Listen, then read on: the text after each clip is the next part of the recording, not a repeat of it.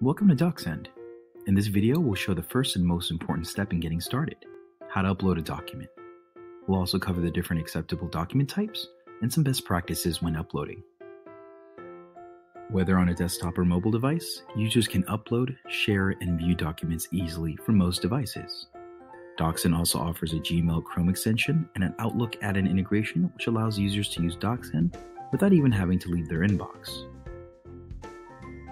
First, let's cover the document file types that DocSend accepts, which are PDFs, PowerPoint, Word documents, spreadsheets, and keynotes.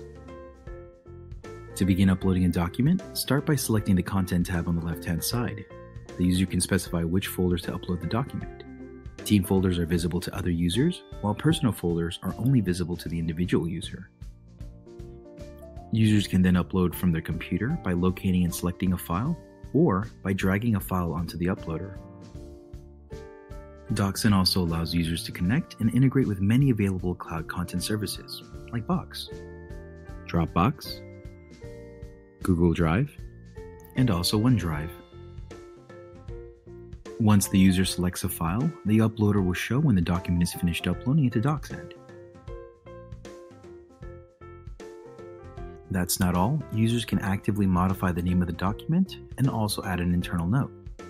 This section can be used flexibly to provide more context on a document, internal updates when used by other team members, or as a tagging structure to help make searching for documents easier. Users can also preview the document before choosing to share with visitors.